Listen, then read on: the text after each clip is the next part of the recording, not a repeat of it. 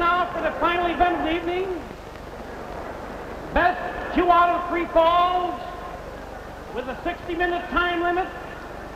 In this corner, weighing 240 pounds, Hans Schmidt.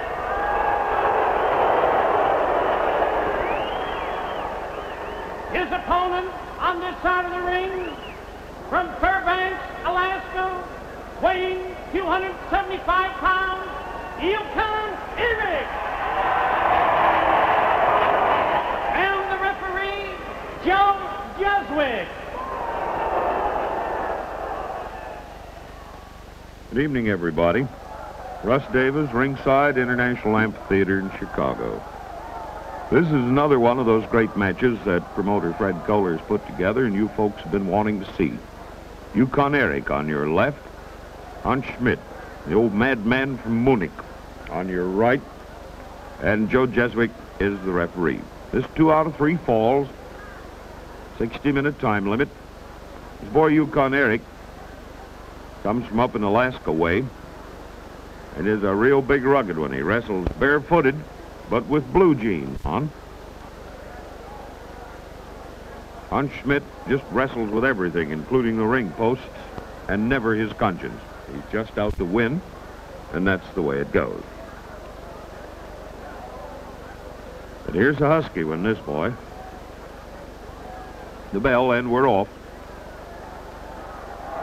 The bell sort of has the asthma tonight. It, in this crowd, it sounds like a dime store alarm clock. Well, you're going to hit me, I'll hit you.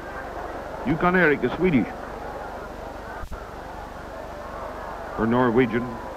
At any rate, he's a Scandinavian.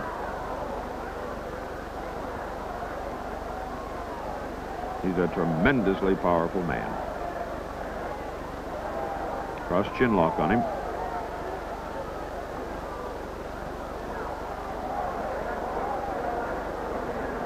The way Schmidt applies this cross chin lock, it quite often is a choke.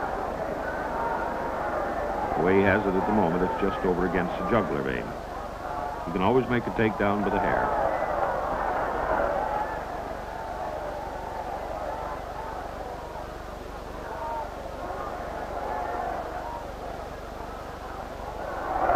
Get over the ropes. It doesn't do Hans's state of mind any good.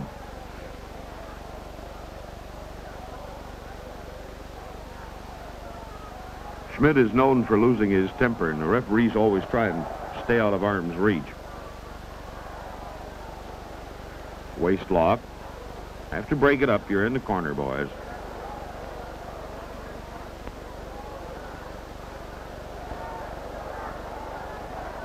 There's a python or a wraparound. Use man's own arm to choke him.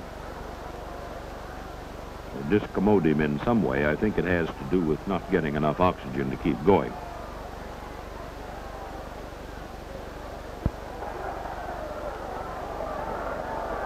Eric making an armbar here.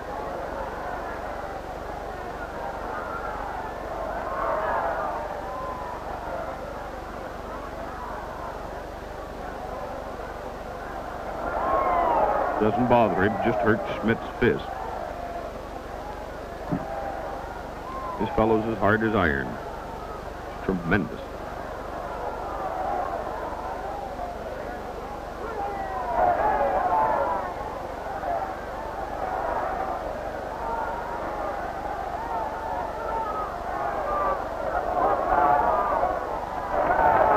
Knee right in the stomach.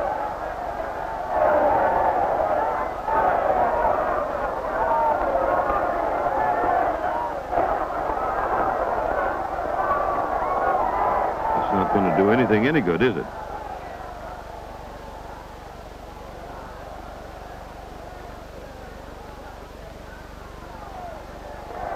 Oh, Getting rid of him.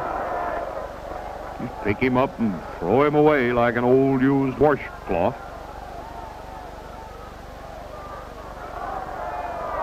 Insist on that, Hansi. Uh,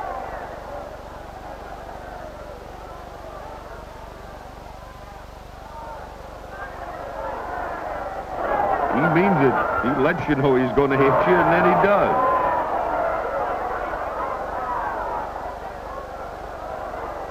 Make your old backbone joints rattle like a pair of bum castanets.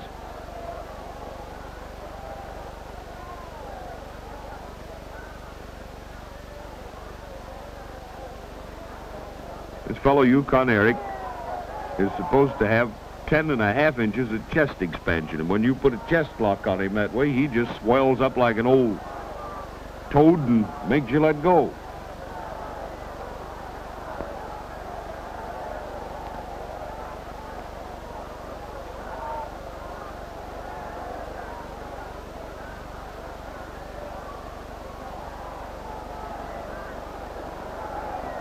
Look here, little feller, what are you trying to do?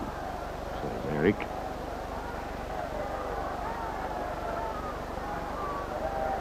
Here's a waist lock now that Schmidt's got on him.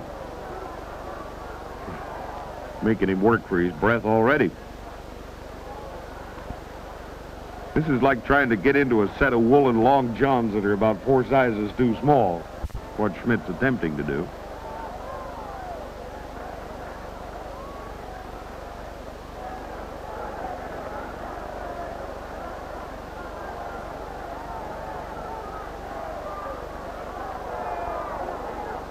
Can't make it, can you, boy?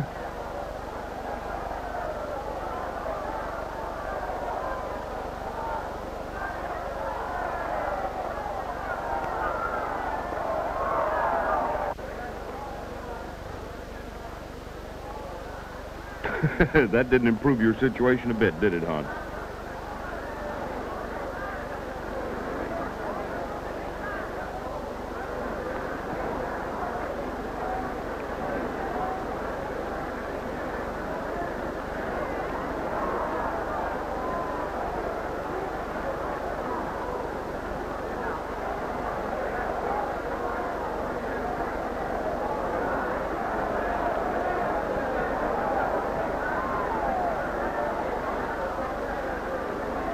There's a body scissors open.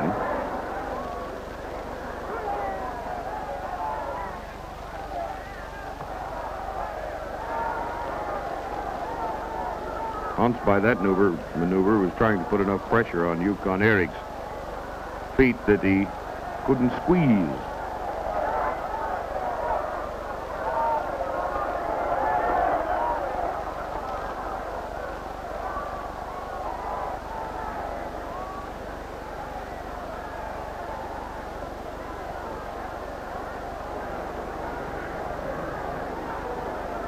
The bottom of his feet, Hans. That might help you. That doesn't do any good to kick him in between the back. That's like stomping on the floor.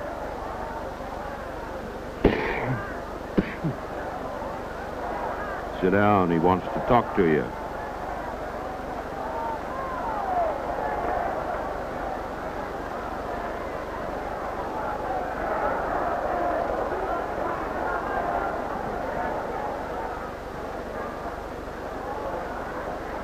Now body scissors, full.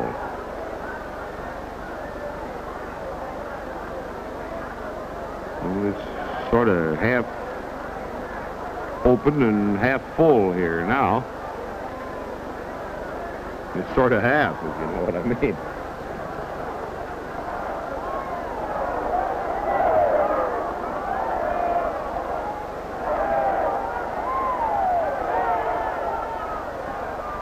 Hand him down the Capudine, kids. He's getting a headache from his scissors.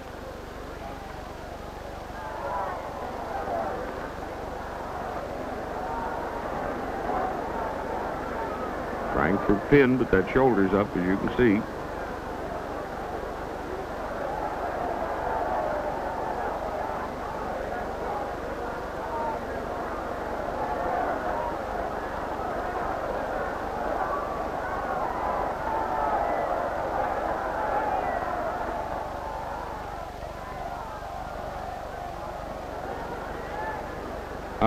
That's his nose, and it's attached permanently.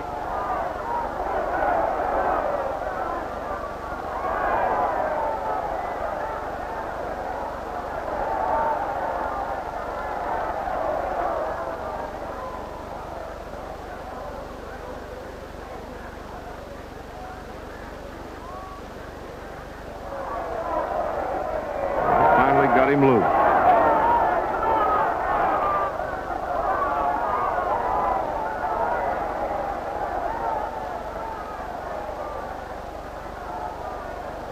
What's the matter?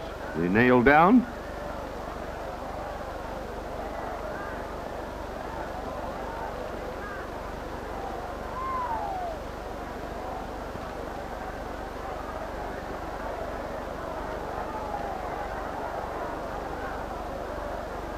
It's an arm lock Eric has.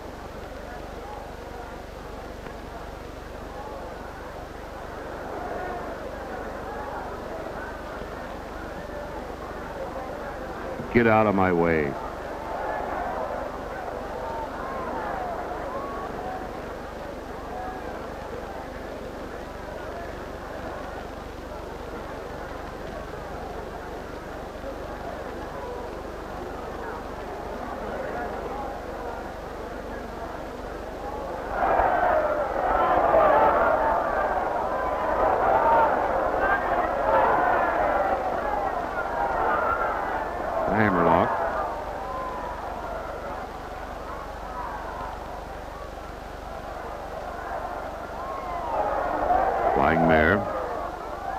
Is sort of coltish like though.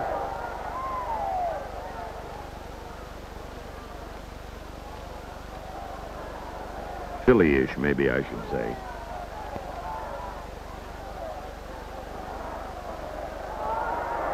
Now you sit up there till I come back.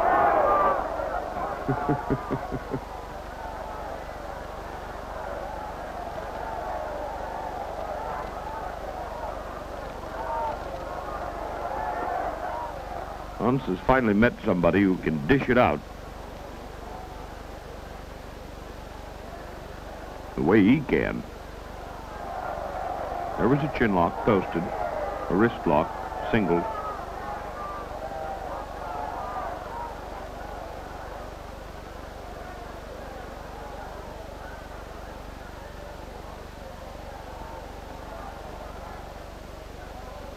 Uh-oh, there's a head scissors.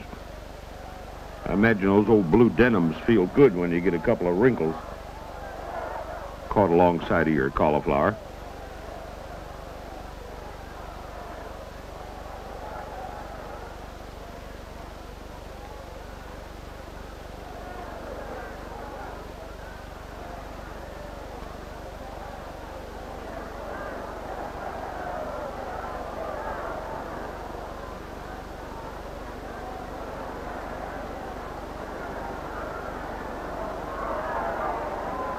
Doing to his pinkies in under here? Settle your thinking, old boy. Keep his feet out of my face. Ugly enough, it doesn't need any rearranging.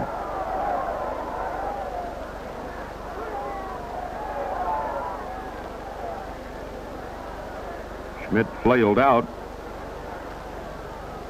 but at what price cauliflower?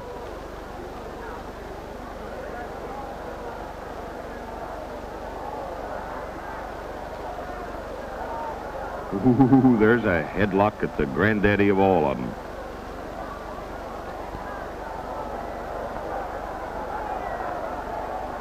Uh, that's his mouth. You have your finger in there, chum.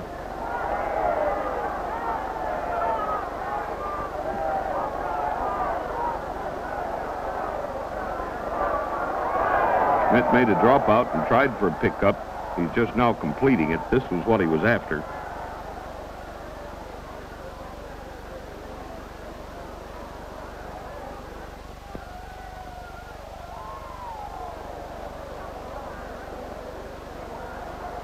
This is the half-standing version of the spread eagle. It does you no good anyway it's put on.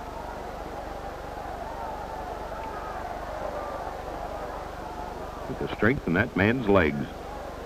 That beats me.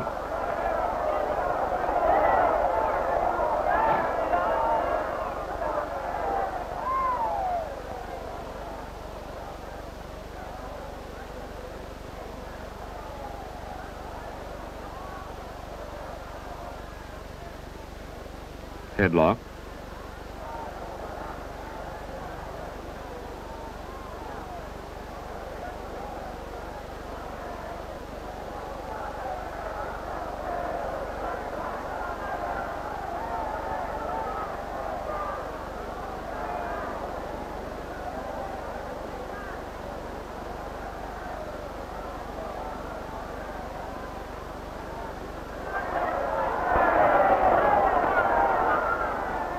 Yukon Eric's famous old bear hug. This one breaks the least, kids.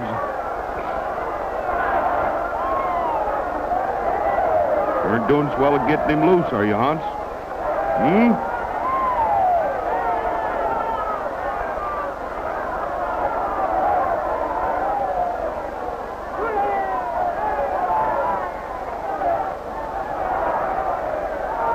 Hans's trying everything in the books here. Gouging, choking, beating. He's on the way out. One, two, three. And so the first fall, thusly, goes to Yukon Eric over Hans Schmidt. Meanie from Munich. And there are a lot of people glad to see him pinned, as you can see.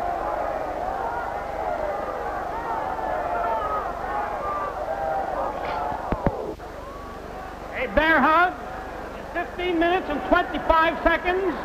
The winner of the first fall, Yukon Eric.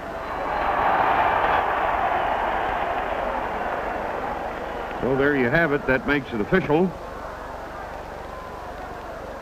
Yukon Eric has won over Hans Schmidt. But however, that's just the first fall. Hans will wend his way back over here now to his own corner. This bear hug of Yukon Eric's, Hans shouldn't feel too badly about it. It's put everybody else in the wrestling game out of the running. And it is a terrific thing. It just breaks you down in the running gear to where you just don't have any love for the feast at all. Schmidt's just now beginning to realize that uh, he lost the first fall. He'll walk around, smack at the seconds, at the ropes, and everything else.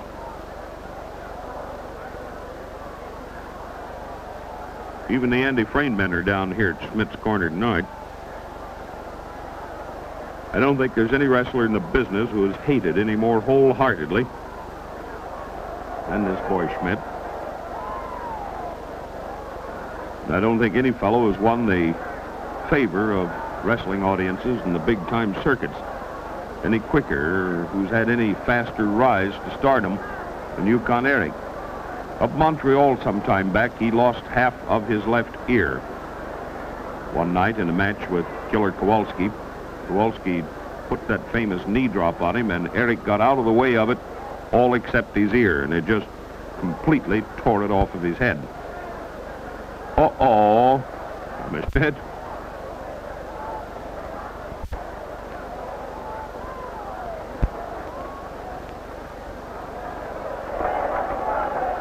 It's going to make him mad.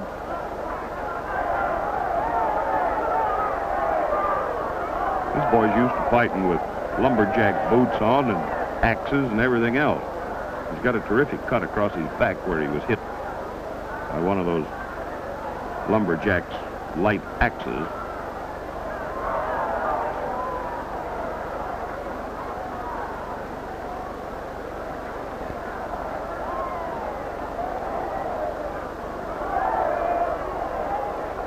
Schmidt's out. We'll go all the way out, says Eric.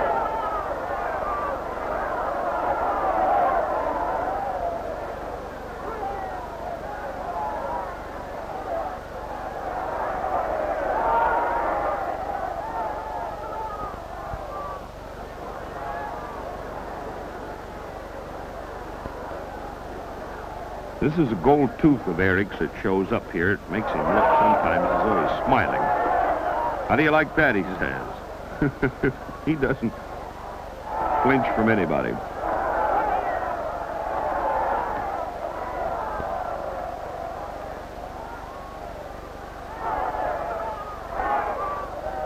There's a real good one, Hans.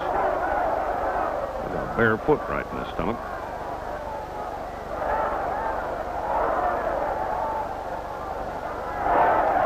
Oh, you're going to beat his brains out on the ring fittings, huh? Well, they're padded, but I still want to, wouldn't want to hit my head on them. Knee lift. It'll take starch out of anybody.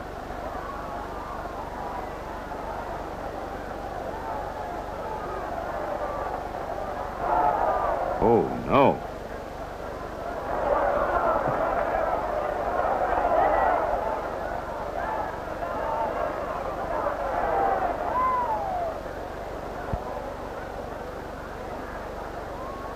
Literal translation, you're a bum.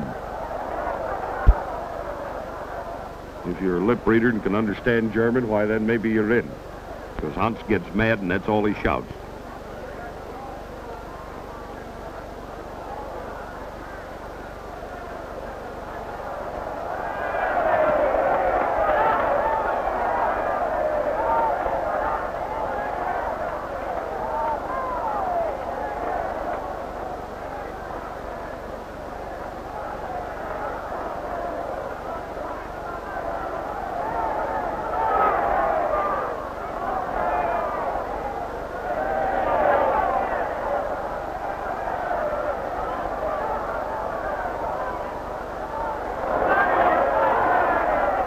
All 255 pounds of him. Lands, too, believe me.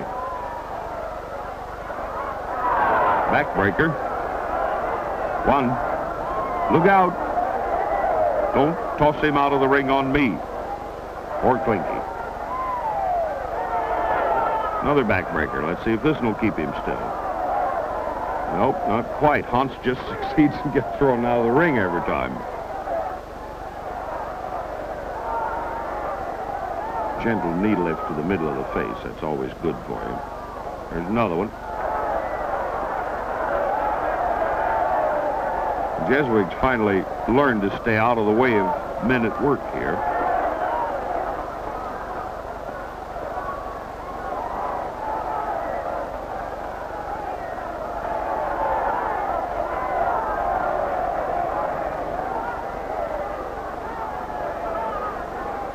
Three of those backbreakers in a row.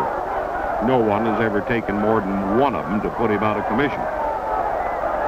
Well, that's four. Well, he is getting a little weaker, but I don't know whether he can hold out or not, or whether Schmidt will have the strength to lift him again. Well, he has it. One, two, three. I was fully expecting Schmidt. Well, he did get tossed off. Not until it was too late. You've lost the fall, Eric, my boy.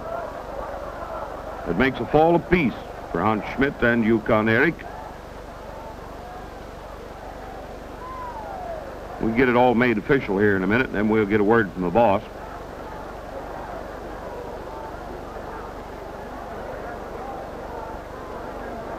A series of backbreakers and a body press. Seven minutes and 18 seconds. The winner of the second fall, Hans Al, you were a little wrong. You said first fall. It's the second one, chum. It's the first one for for Hans.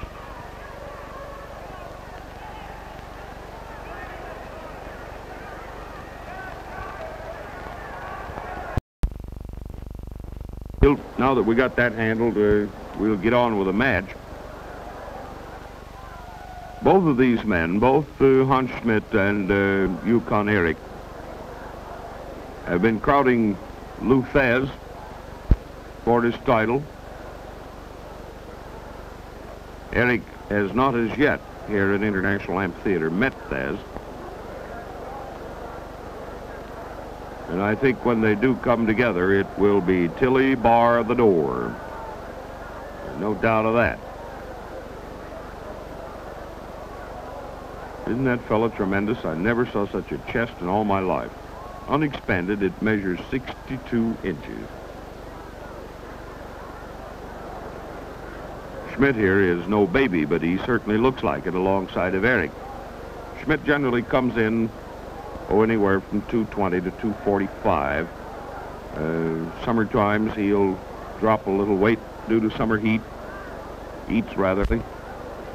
And then in the winter, he generally picks it up. But this boy Eric just seems to go right through the year, always 255 or better. I have seen him weigh in as high as 280. These wrestlers are tremendous eaters, you know. Well, there's the bell, and we're off. The drop kick. Schmidt figures he's got him in bad shape. He better keep him that way. Another one.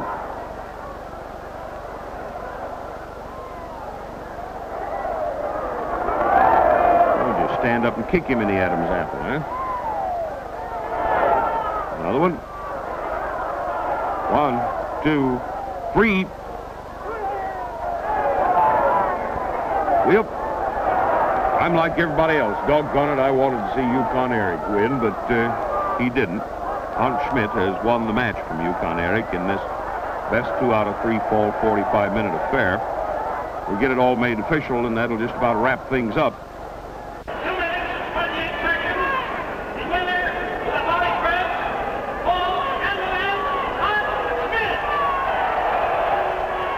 So there you've got it, dear friends. Pappy Davis ringside at International, another promoter Fred Kohler's World Matches. We hope you enjoyed it. We'll be seeing you.